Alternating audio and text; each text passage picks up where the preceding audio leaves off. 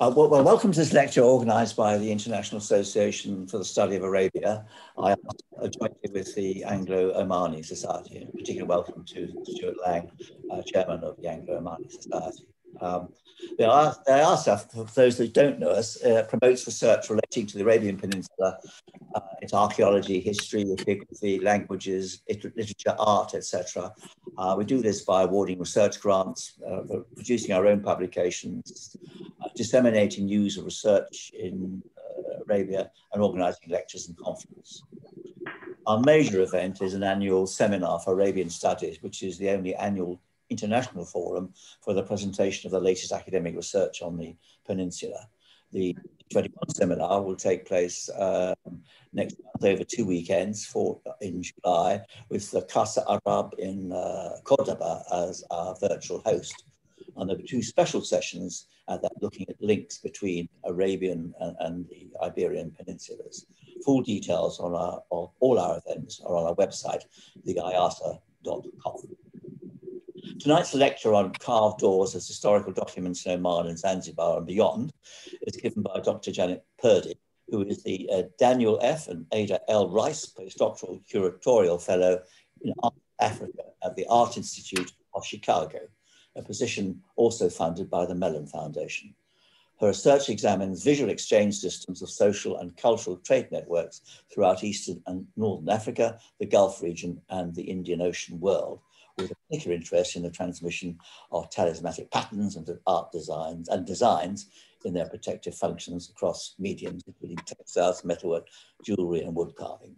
She's also curated a number of exhibitions on the in Africa and teaches art history at several universities.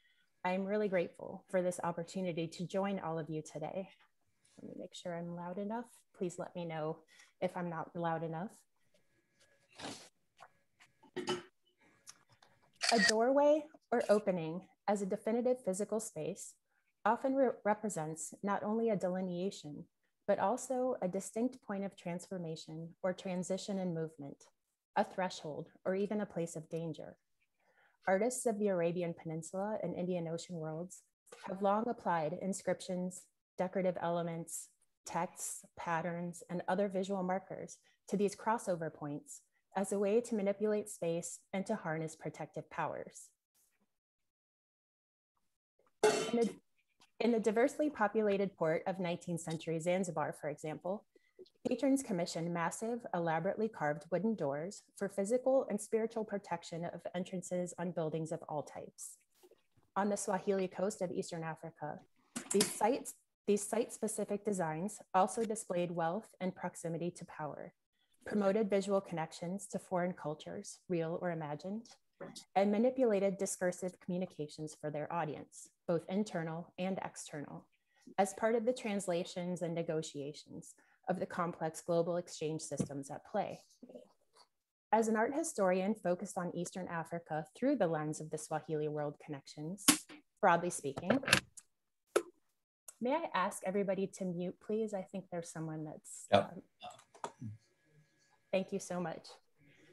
Uh, as an art historian focused on Eastern Africa through the lens of Swahili world connections, broadly speaking, I investigate stylistic and symbolic connections that reach across trade routes and exchange systems in all directions around the Indian Ocean Rim and into the hinterlands. I focus on definitions of architectural space and adornment in port cities and trading towns, liminal spaces themselves, as they inform our understanding of power structures, cross-cultural communication, and artistic exchange. More broadly, I'm looking for the ways the transmission of these patterns and motifs operate in socio-political, cultural, and religious contexts, and how they may reveal distinct or shared meanings across different audiences, as in the way these doors, like this door here, is carved with the integration and cross-pollination of cultural aesthetics from Afro, Arab, and Asian material worlds, foregrounded and held in one place for all time as architectural adornment. While much is revealed through these detailed visual studies of carved doors as iconic objects of art, in, in my talk today, I will focus on a different aspect as well. I submit they may be read as a set of historical documents, especially for what they might tell us about individual artists, their memories and beliefs, their localized practices, and also audience reception, patrons, and more. This is, as Noel mentioned, uh, an ongoing project, a bit of what I've gathered to date so far, and the directions I hope to continue with it. Some of it is based on a few sections from my dissertation, which I just published last August, and leads into my book project on a broader scale.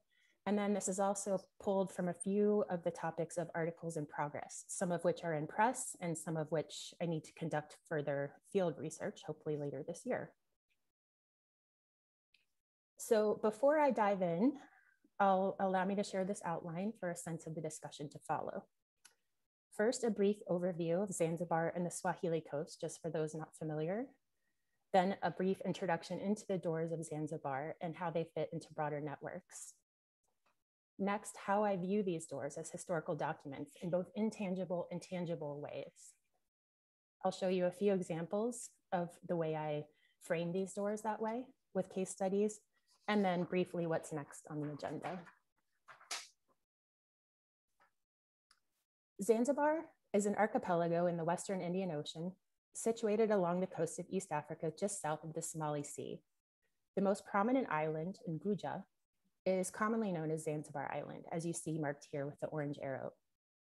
For more than a thousand years, it was a significant trading center in the Indian Ocean, centered in a region known as the Swahili Coast, which is this narrow strip of land that runs along the coastline from Mogadishu in today's Somalia, down through Kenya and Tanzania, to northern Mozambique and includes all the islands and archipelagos in between. You see it outlined here in, in brown along these maps.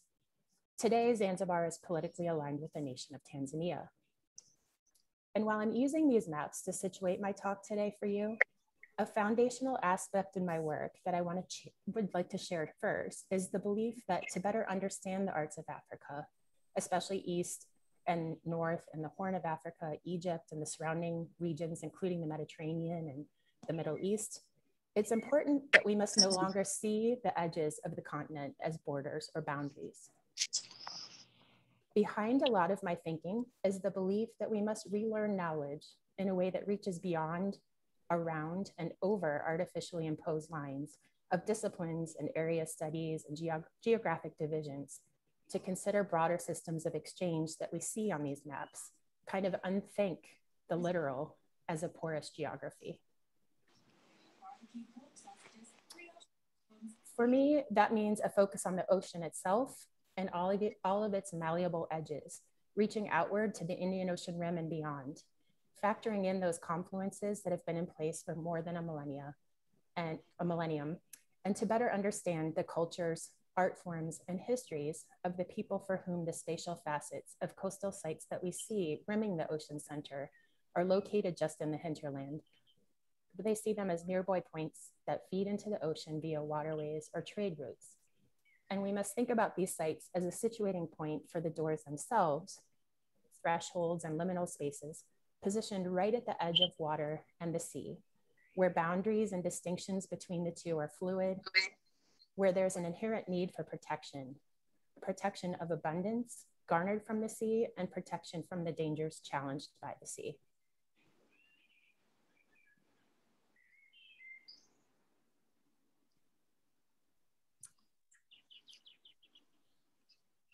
Someone has some very nice birds in the background, thank you. in studying these doors, I aim to demonstrate that type of unrestricted global engagement apparent in affinities and art forms and practices throughout the region. I highlighted here in orange the, the, the region most consistently visible with the range of Indian Ocean cultural connections through port cities and Indian inland trade centers as connected to Zanzibar, which you see as the star, around which my initial work and research has been focused. And that was also through the lens and limitations of how this region has historically been understood and studied via the monsoons and the way they carried people to traverse them for millennia.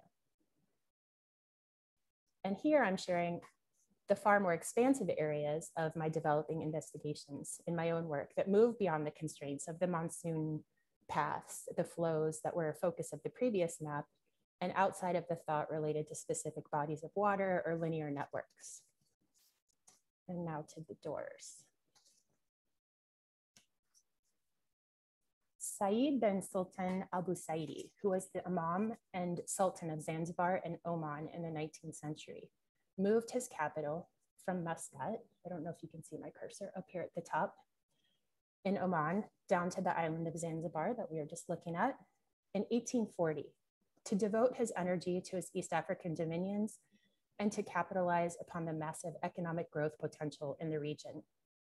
It was later, during the reign of his son, Sultan Said Bargash, Bargash bin Said al Busaidi, who reigned from 1870 to 1888, that Zanzibar reached a fluorescence in trade and economic exchange systems, which also coincides with the surge in construction of doors throughout the region.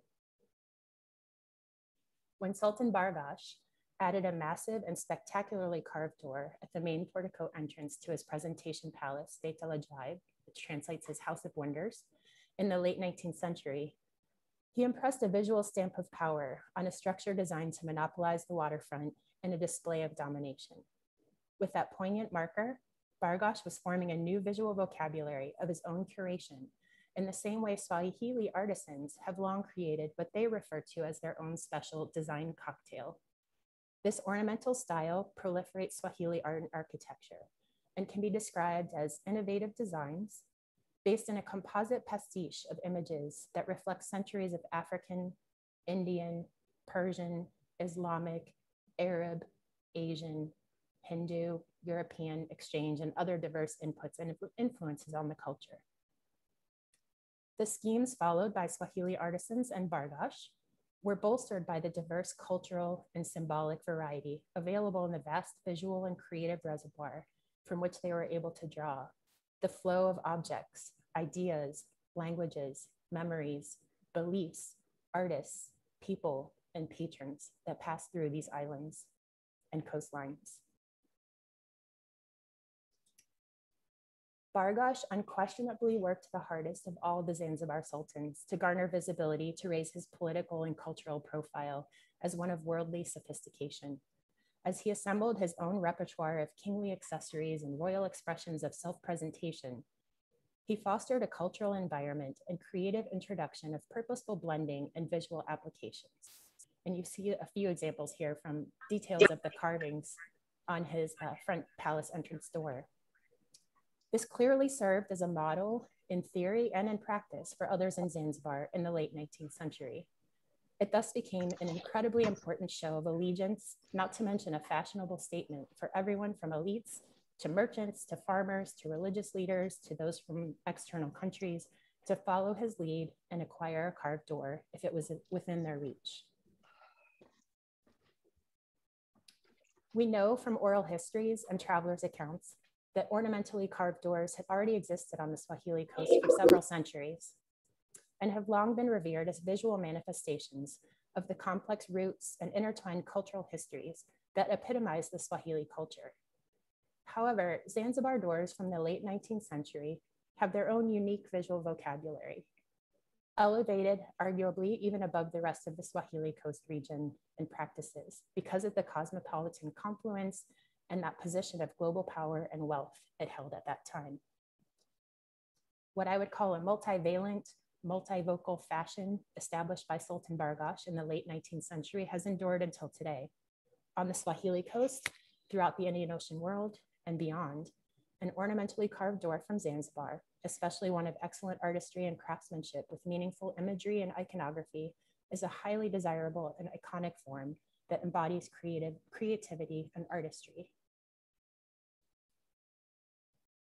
One Zanzibari man explained to me that to own a beautiful door, such as this one, for example, and to pass through it day in and day out is a way of honoring the beauty of the world, the talents that God provides, and to exhibit piety and gratitude as a public facing marker on one's household.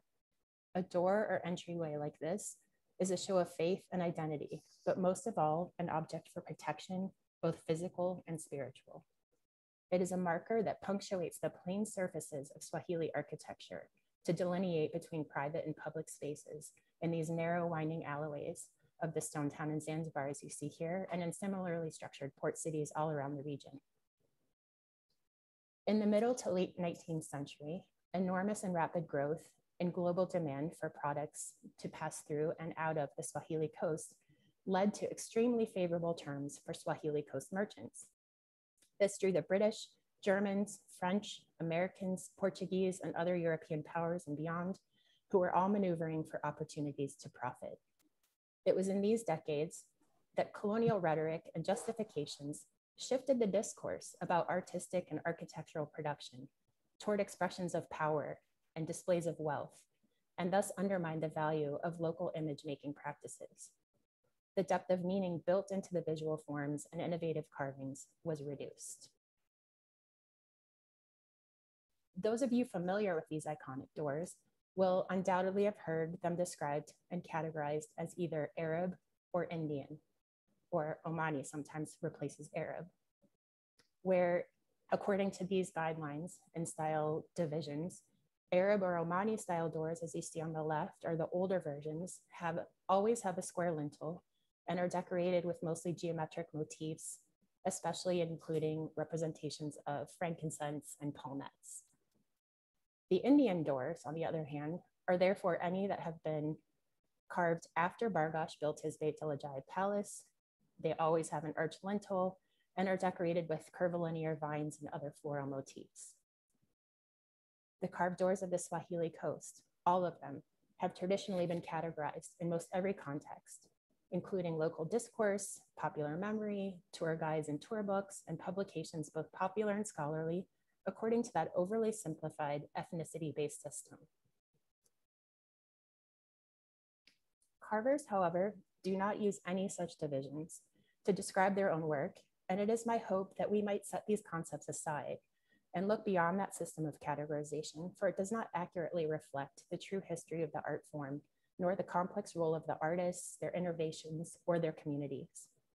Limiting our understanding to two simple style categories obscures a picture of the countless streams and layers of creative input that shape the diverse evolution and designs of these doors over centuries. And as you see here with just a few examples I, I grabbed, you can see the variety of lintel shapes beyond square and arched. And that's just one small example. How I believe if we move past those categories to look at details glossed over and hidden behind them for 100 years, when we value each example of creation as an individual object and contribution with distinct characteristics, this potentially can lead us to information that might be applied to broader histories and considerations and functions in the same way a record or a photograph does in an archive, and therefore as a historical document. One of the challenges in this is that, except for in a few rare cases, the identities of individual carvers and workshops linked to specific doors are not known, Typically, there's no record of patronage for who commissioned the doors, for whom they were designed or constructed, or when that happened.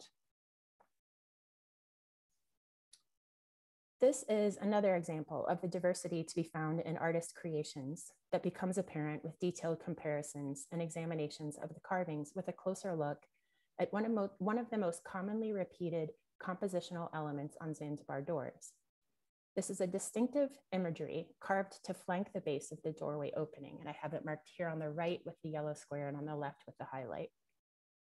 The motifs appear on both sides of the frame and are sometimes doubled or even tripled or appear on the jambs on the inside as well. And one of the only early publications in which a description of carvings or designs exists, a British military official who visited Zanzibar in 1912 wrote this in 1924, quote, in every door frame, the designs on the two uprights spring at the foot from fish-like objects, end quote. His observation is still considered and accepted as common knowledge, and that statement has directed the way we frame our understanding of this part of the composition of Swahili doors for the last century. Most everyone you know will simply point out these designs and see fish. However, you'll see in this small sample that I've gathered, the artist carved and abstracted representations of, yes, fish like objects, but also everything from daggers to lobsters, pineapples, lizards, vases, corn, cashews, and all other variety of creatures and vegetation. These designs, which appear on many doors in Zanzibar, but not all of them, were often selected and adapted by the carvers themselves. And thus become what I might call one of the first entries into our historical document of the door. There is no existing architectural term for these motifs, this compositional element, so I've, I've named them as grounding elements for both their physical and symbolic characteristics. In the composition of the door, the motif at the base of the frames represents a symbolic source and the point from which the rest of the decorative elements grow. Their consistent positioning near the ground and on either side of the door opening underscores that compositional role as an anchor or a genesis point for designs that extend upward and wrap all around the, rest of the door frame.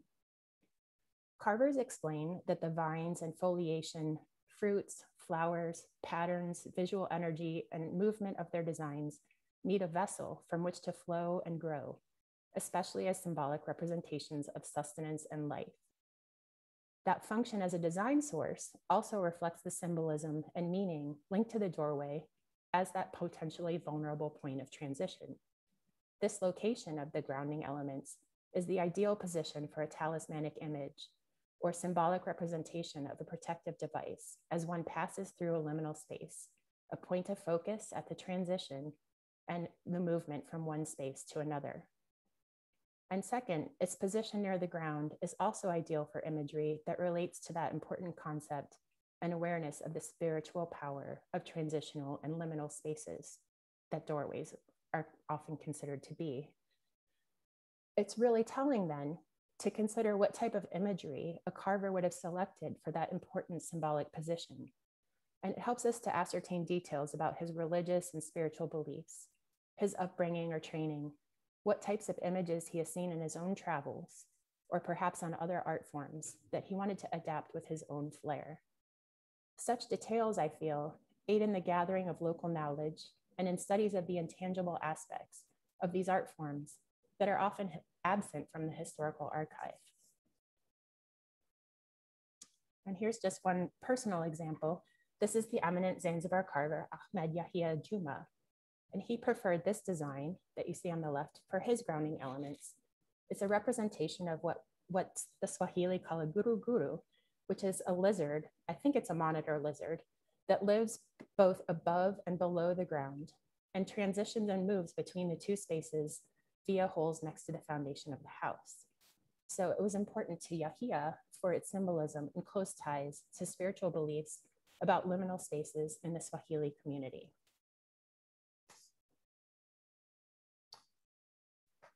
The overall composition of the door carvings and each unique combination of, combination of forms and elements also functions in a similar way and can tell us what visual messages it was important for individuals to present as their public facing architectural markers at different points in time.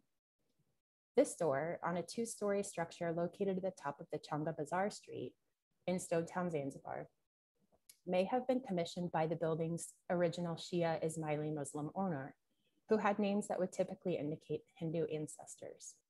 So possibly an Ismaili Bohra, the owner may have been from Gujarat or at the least probably had Gujarati family connections. And this door is quite an eclectic mix of compositional and design elements. The caterpillar scrolls, if you can see my cursor, I'll put those up here. The caterpillar scrolls up at the top and the lintel uh, were a favorite form, one of the most preferable um, band designs selected by Gujarati carvers. And the four panel gate-like doors, I think you can only see three of them here, but trust me, there's four, are the same form, most likely brought into Zanzibar by Gujarati shopkeepers um, over the centuries of their close exchange.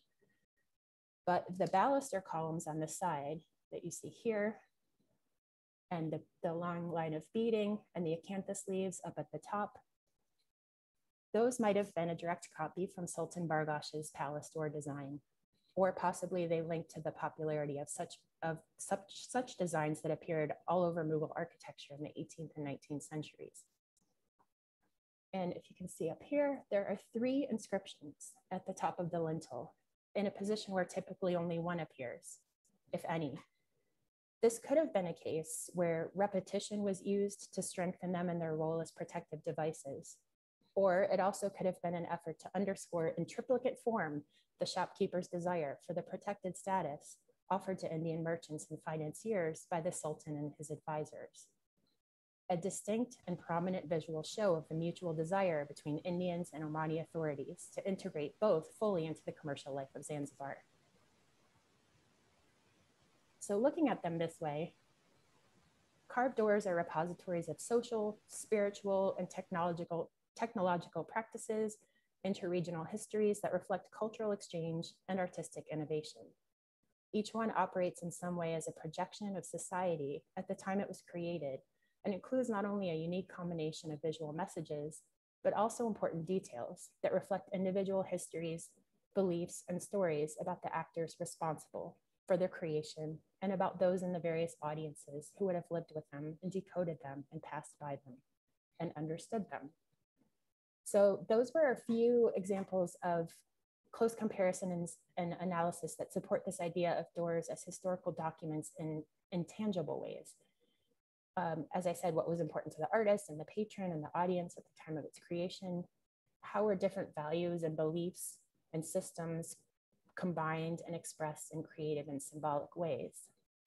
And now I'll discuss a few of the case studies that show the more tangible ways I can look at doors as a historical document, as repositories that hold and carry details that can be aids in broader historical reconstructions and contribute details about movement of known figures, timelines, and relationships around the region attached to histories that we already might know pieces of.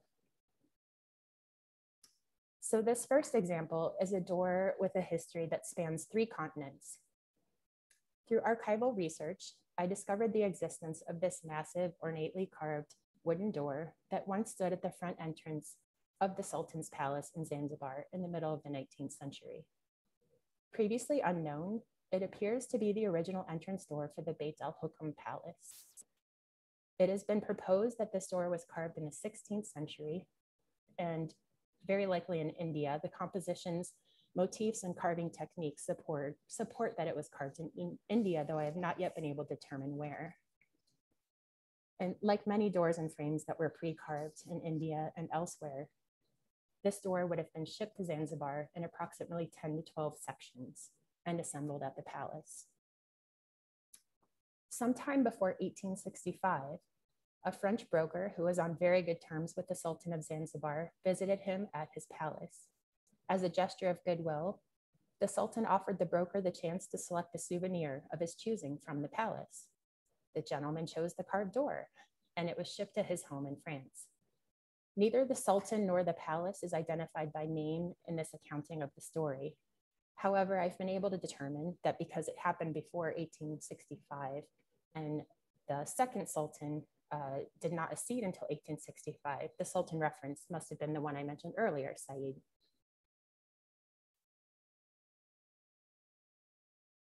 There are only a few photos and illustrations that feature the front entrance of the palace, Beit al-Hukum, and none of them reveal close details.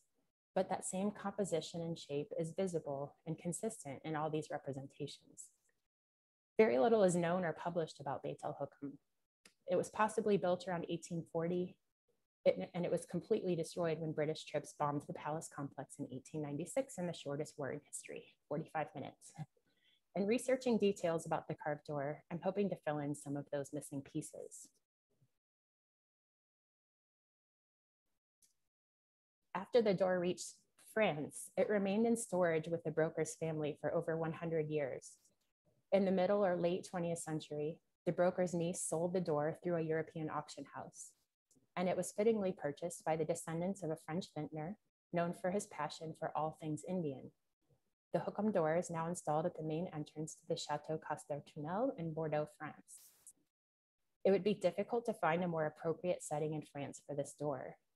The chateau was built around 1830 by Louis Gaspard, who was a wealthy landowner and vintner whose connection with India was so strong he actually became known as the Maharaja of Saint-Estèphe. His fascination with South Asian culture and Asian culture inspired the unique East Indian design influences still evident in the architecture and the interiors at this chateau.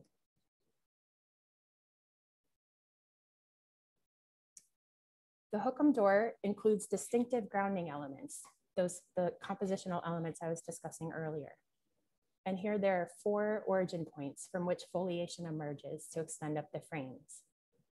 At the base of these double frames are realistically carved creatures, one larger in scale set on the wider frame and a smaller, slightly simpler rendition on the narrower outside frame. The larger creature is covered in rows of feathery scales and stands vertically on a fanned split tail with the head facing up to the sky. One thin bent leg with a tiny foot or claw rests on the edge of the frame, while the snout curls up and backward into a curlicue form that resembles, resembles a short elephant trunk. The tongue droops out over the bottom lip of the open mouth, which is lined with rows of pointed teeth and from which floral vines grow upward. Upon close inspection, I realized this was the representation of a makara, a legendary hybrid sea creature of Hindu mythology and Asian iconography. The Makara is the guardian of gateways and thresholds. And in the Hindu zodiac, it stands for Capricorn, the door of the gods.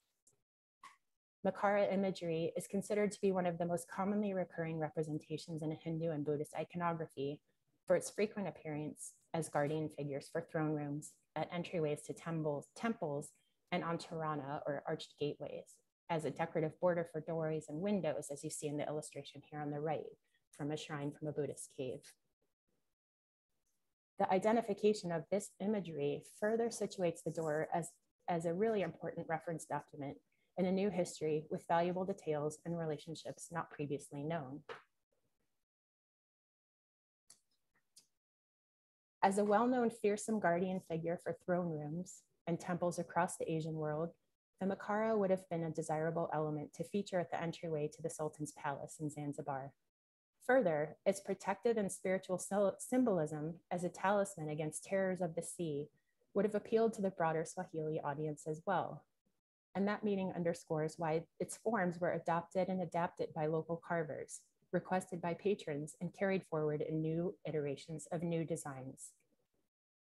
So I realized there is existing evidence of the Hukum door's influence on the local vocabulary visually in the 19th century, and you can he see here one example of several of the large carved doors on the main road, Kenyatta Road in Stonetown, Zanzibar, include compositional elements and motifs that were very clearly copied and adapted from those of the Hukum door.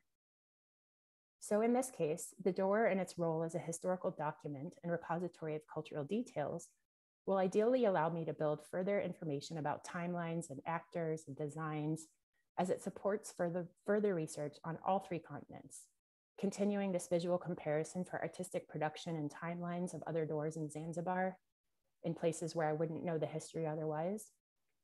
Its original production and artistic traditions in India, if I'm able to track that down, and hopefully greater details about the Sultan, his palace, and his relationship with the French broker, if I'm able to find those records. And my second example this door, it was carved on Pemba Island in Zanzibar in the 19th century. And I have to say in person was one of the most beautifully carved doors I've ever seen, an absolute work of art. It's now located in the town of Al Mudayrib, south of Ibra on the old caravan route in the Sharqiya region of Oman. And this door adorns the main entrance of a sabla, which is a community house that functioned as a center of social life and a kind of transitional space between the supreme privacy of one's home and the wide open public spaces of the souk. In this settlement, which was once a crucial trading center, several Omani families built elaborate mansions, but lived and worked in East Africa, usually Zanzibar. The structures were truly symbolic, stand ins for their owners, not ever used as a home or a family dwelling. Wealthy Arab merchants or elite families invested great care and funding to establish these as placeholders in Oman even though some of them would never visit or stay at these homes and maybe never even see them. For these patrons, the door was a stamp of power and wealth as that stand in, but also a protective talisman on the meeting house, part of a community defense system. The realities of life in this part of Oman, it's difficult to access, difficult to maintain an oasis. It's right on the edge of the empty quarter. It's far inland from seaports, but it was essential in its support as a trading site. So the journey of this particular door and its landing in Mudayrib represents the fluid nature between the distance and nearness of some of these doors and what they represent, what they hold in their information.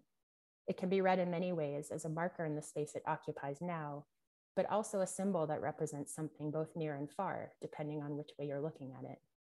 In its role as a historical document, it's also an aid to identify several individual family histories, those who left Oman for Zanzibar for financial opportunities, but who still cared enough about their Omani roots and culture to create physical markers in the form of stand-ins as Zanzibar doors.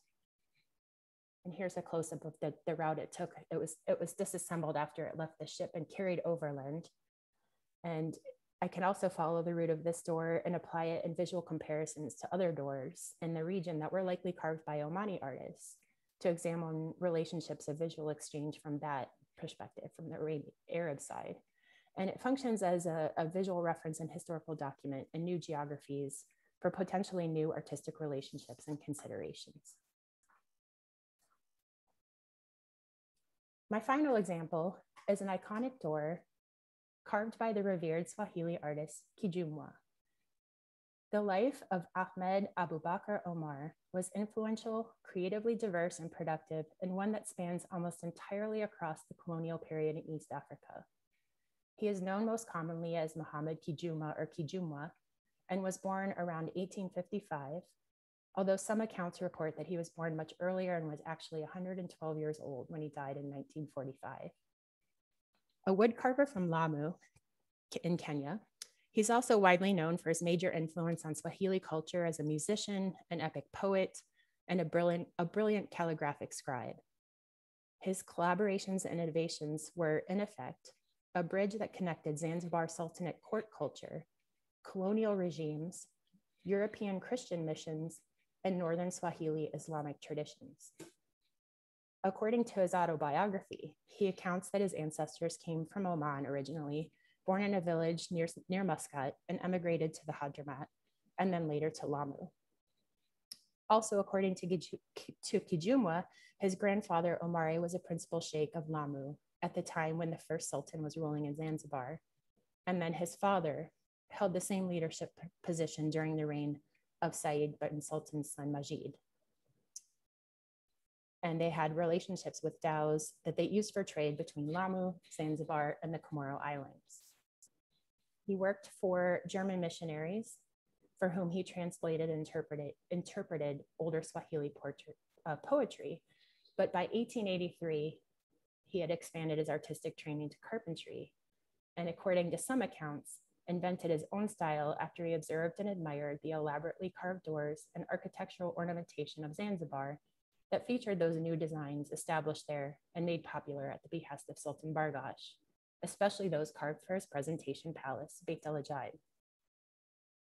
So to be able to connect this many details through history to one, one, one wood carver and the transition and movement of his family and the relationships across cultures, religions, colonial regimes, and such a prolific artist of the Swahili coast is extremely valuable and extremely rare and it's a way to attach meaning and build further insights by adding his carved doors and his other artistic productions to the mix of historical documents.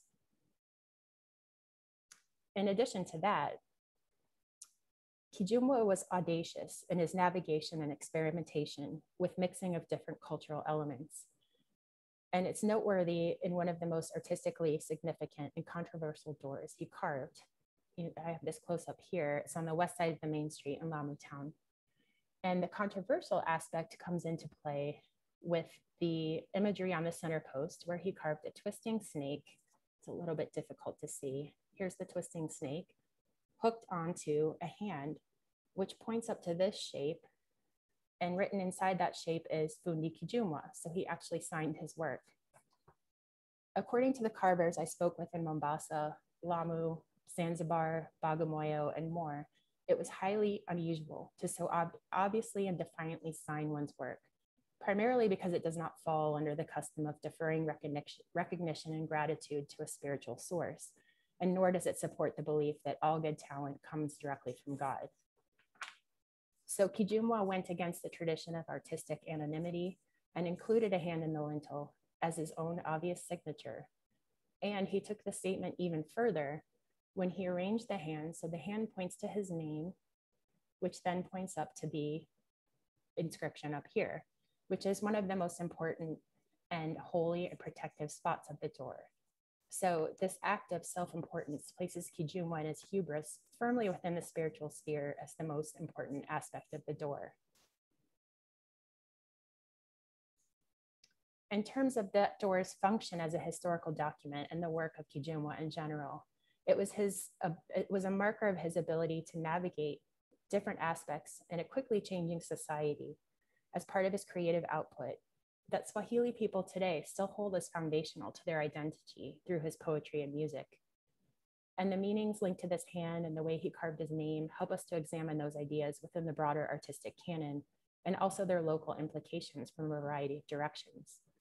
And further, his innovations in carving designs and imagery reach across mediums. And you can see here, there's a, rep, a repetition of a design on a kofia, which would have traveled much farther, obviously, than the, do the door, and many more people would have seen this design. And so this helps me to reach across mediums and provide a specific time and moment in history as a comparative reference point for the carving motifs that he invented. So what's next? First, I want to thank all of you again for allowing me to share some of these insights that have emerged so far through, through this extensive and comparative visual site visits and research throughout the Swahili coast and beyond in Gujarat and trading centers of Oman indicated here on this map. You can see where I've been the last two years. And it takes a lot of traveling and time and questions and conversations and photographs and shared knowledge in this quest to visit as many of these doors in person myself so that I can compare them for direct insights in what I consider the broader archive and to, to place these documents in their time in history and in their time in the artistic process. So it's incredibly important that I acknowledge contributions from all the very smart, kind, and generous people who have helped me and taught me and shared knowledge with me along the way in all of these locations nothing would be possible to the degree as this work has developed so far without them. It's a very collaborative endeavor, and people have been incredibly generous sharing their family histories and pointing me towards doors around corners and sections of towns that I probably never would have seen. Um, and so I thank them all for sharing their very personal histories, and I find them just as meaningful as they do. And they survive from the local perspective in part because they've not been folded into the grand narrative and I'm hoping to do so with respect. So as I continue this work and draw these unique historical details out from the wider complexity of the forms and the relationships built across these diverse populations over centuries, it's my hope to continue expanding further around Oman, especially to Sharjah and north of Muscat and to the Qatar pen Peninsula, where I see there are similarities to Persian designs and to the doors in Sur, and to southern e India, both coasts, and elsewhere in the Arabian Peninsula and beyond, perhaps even Central Asia and North Africa, and of course to places not yet known. And so I would welcome anyone who knows of a door that they think I should visit or has a story to share. If, you would give me the honor to share that with me, please, please get in touch. And similarly, I've also learned a great deal um, and continue to learn from artists of other mediums historians and friends, and again, kind strangers who, who share and see the important relationships and connections across these different art forms of the Swahili region, as you see here with other um, intangible and tangibly similar connections. So I will conclude by sharing my email address here with an invitation again to please contact me if you know of a special door that you think I should visit or you have a cultural history to share with me to expand my knowledge and to build into and fold into these family traditions. I hope that between us, all of us, we can continue to reveal these important connections that illuminate so many beautiful pasts and that, like so many doors, stand as centuries waiting to be rediscovered. And I thank you very much and welcome questions, comments, observations, if there are any. And I'll stop sharing my screen.